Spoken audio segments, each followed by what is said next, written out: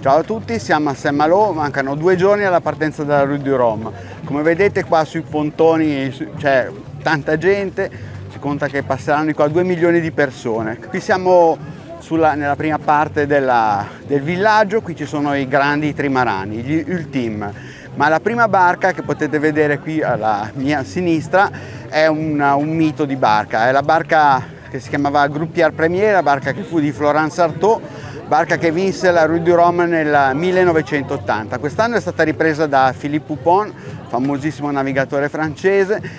e con questa barca farà questa regata, questa regata che lui vinse nel 1986 credo con, con Fleury Michon e parteciperà con questa barca e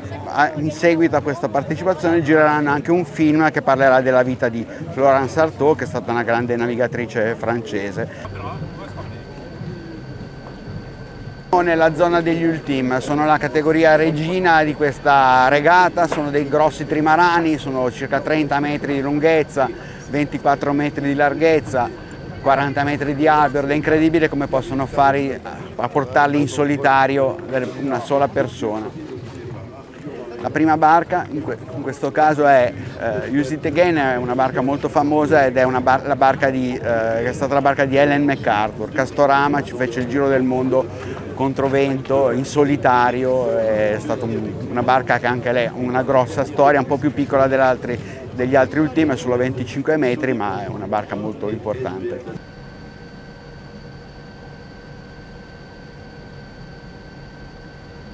Siamo su Banco Populaire, Banco Populaire è un uh, maxi, un ultime uh, portato dal famoso Armel Lecléache, Armel Lecléache è uno, un ragazzo che ha vinto tutto, ha vinto il Van de Globe, ha vinto un sacco di regate è eh, praticamente una delle barche favorite nella categoria Ultime. Dietro di lui c'è Edmond de Rothschild, che è anche questa è una barca tra le favorite, Charles Caudrelier, grande esperienza è una barca un po' meno nuova, una barca del 2017, però sicuramente più collaudata. Eh, sono le prime barche che hanno cominciato a montare i foil, eh, dei, dei, piani portanti sui timoni, foil sulla, sugli scaffetti laterali. Eh, sono barche volanti, barche che hanno delle prestazioni pazzesche. Comunque guardate le dimensioni della barca, immaginatevi sempre che le porta un omino tutto da solo. Questi sono i timoni eh, sollevabili, sulla parte inferiore del timone ci sono dei piani portanti, a seconda di quando vengono immersi e inclinati, danno più o meno portanza alla barca.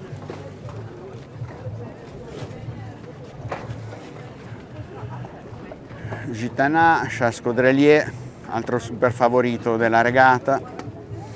appunto come dicevamo prima Gitana è una barca molto affidabile, già sono parecchi anni che è in acqua, e, eh, hanno già fatto molte modifiche, molte molti miglioramenti, sono barche che hanno bisogno di, grossa, uh, di un grosso periodo di, di, messa a punto perché sono complicatissime. E questa è IDEC Sport, è la barca di Francis Joyon, è la barca vincitrice delle, di questa regata nel 2018 barca storica, una barca che è stata Groupama, è stata Banque Populaire, è stata poi eh, ripresa da, da Francis Joyon appunto che l'ha ottimizzata per eh, queste regate in solitario e attualmente appunto è il detentore del titolo. E questo è Mieux, la barca di uh, Arthur Levaillant, è una barca storica, era il vecchio Geronimo di Olivier de Carsason, una barca del 2006 che poi nei vari anni ha subito grandi modifiche, cambiati eh, piani dei timoni, foil, albero e compagnia bella e adesso è di nuovo sui campi di regata, è forse la barca più vecchia della flotta ma comunque una barca storica. La Zartig di François Gabard è una delle ultime barche messe in mare,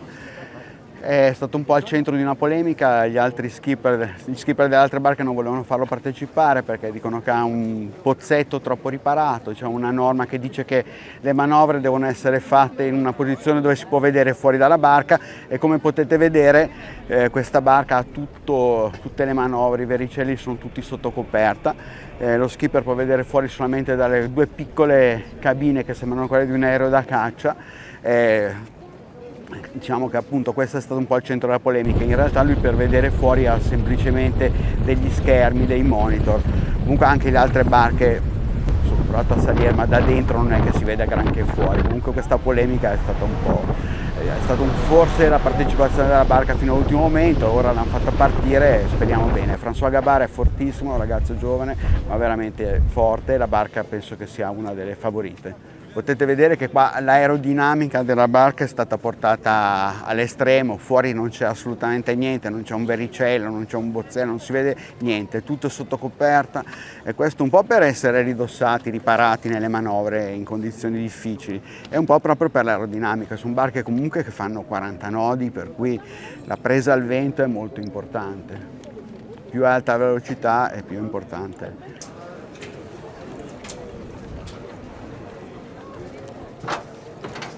Ecco, qui siamo nella zona dei Class 40, la Class 40 è la classe più numerosa in questa regata, ci sono 55 barche iscritte, sicuramente è la classe più agguerrita,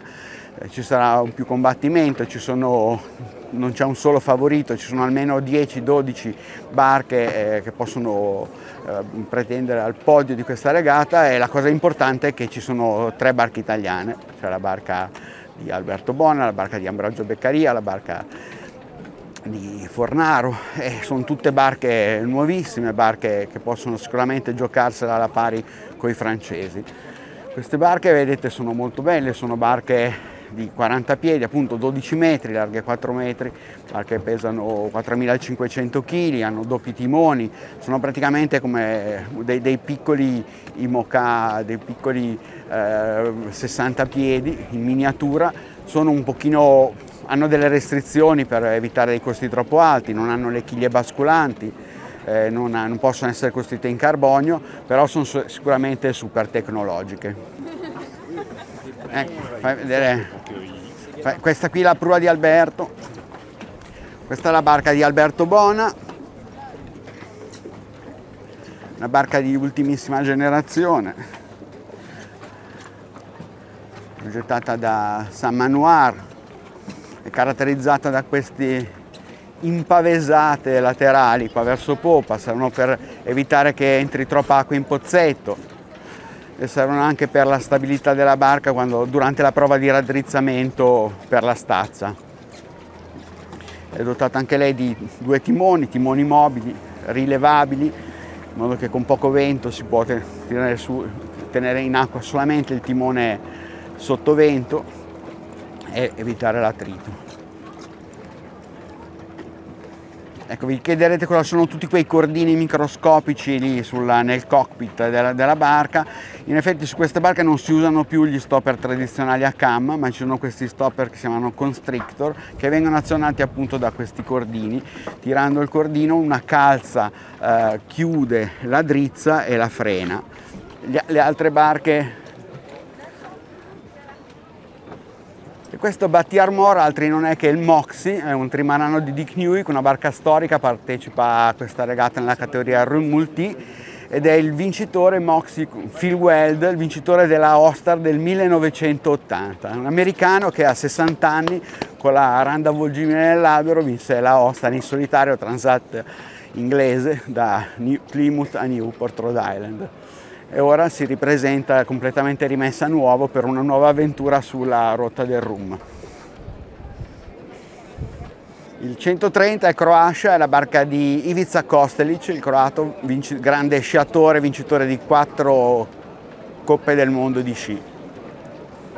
La Boulanger Bio, numero 170, è la barca di Amélie Grassi, una delle poche ragazze che parteciperanno a questa regata progettista David Raison, un progettista che viene dai Mini Transat. Potete vedere la prua, ecco questa è la prua che caratterizza tutti i nuovi Class 40, potete vedere queste prue fatte a SCO, sono piatte. Mediamente barche di questo genere sono sempre due nodi più veloci delle barche tradizionali. Qualcuno, Johan Richomme, uno dei favoriti, dice che la sua è quattro nodi più veloci delle barche tradizionali, staremo a vedere. A Cappella è la barca di Charlie Capella, è una barca storica, ha partecipato penso a 10 edizioni di questa regata della Rue du Rhum, una barca che ha più di 30 anni, ma è stata sempre tenuta in grande forma, modificata, ammodernata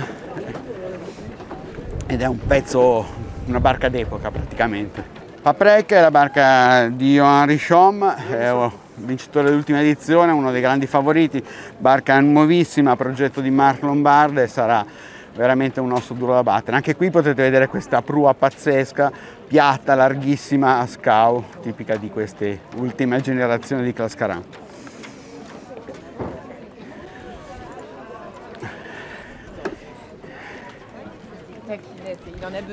Influenza è la barca di Andrea Fornaro, una barca di Van Peteghen, anche questa barca nuovissima.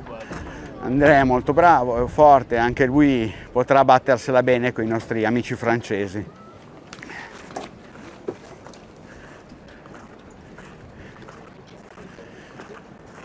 E qui siamo su alla Grande Pirelli, la barca di Boggi, di Ambrogio Beccaria, una grande scommessa, una barca progettata in Italia, costruita in Italia,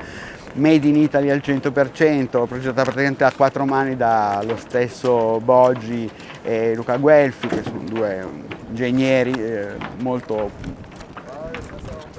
preparati e comunque sarà anche questa una barca che potrà dare, speriamo possa dare del filo da torcere ai nostri amici francesi. Interazione è un'altra barca storica, un 50 piedi, ed è la barca, si chiamava Branec, ed è la barca che è arrivata seconda quando io ho vinto la Ostar con Cotonella, per cui una barca a cui tengo particolarmente perché è stata il mio avversario per tutta la regata e alla fine sono riuscito a batterlo. Categoria multi 50, questi hanno preso il posto dei vecchi Ormai 60 piedi che erano diventati troppo costosi, si rompevano. È una classe che ha preso abbastanza piedi, sono otto barche alla partenza, tutte molto simili e tutte molto competitive.